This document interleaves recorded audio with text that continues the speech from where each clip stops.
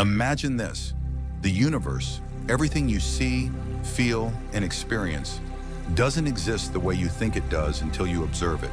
Crazy, right? Well, what if I told you that scientists believe your very act of observing might actually create reality? This isn't just a sci-fi idea. It's based on a fascinating concept by physicist John Wheeler called the participatory anthropic principle. And today we'll explore how your thoughts and observations could be shaping the world around you.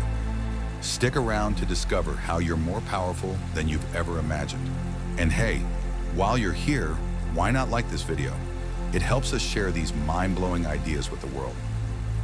Okay, let's start with a weird experiment called the double slit experiment. Here's how it works. Scientists shot tiny particles, like electrons, at a wall with two slits in it.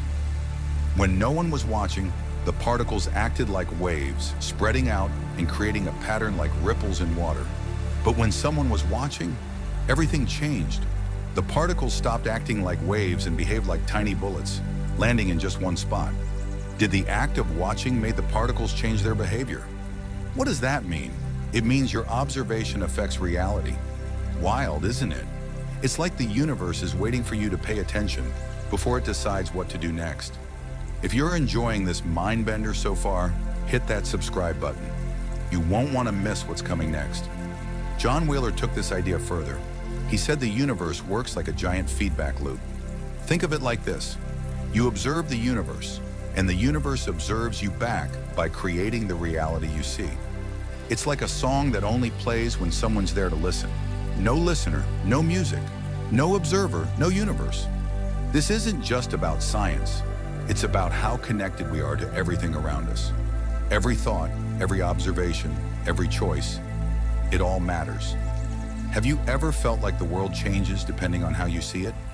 Turns out, you're not imagining things, you're creating them. Here's the big idea.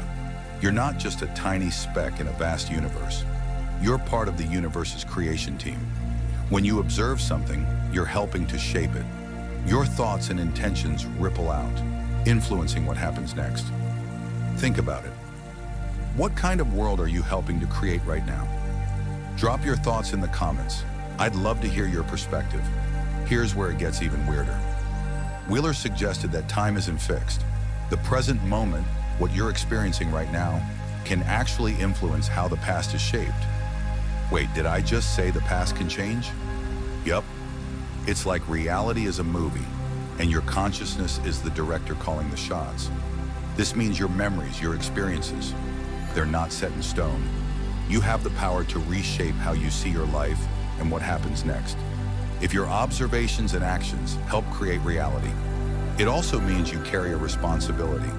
Every choice you make doesn't just affect you, it influences the world we all share.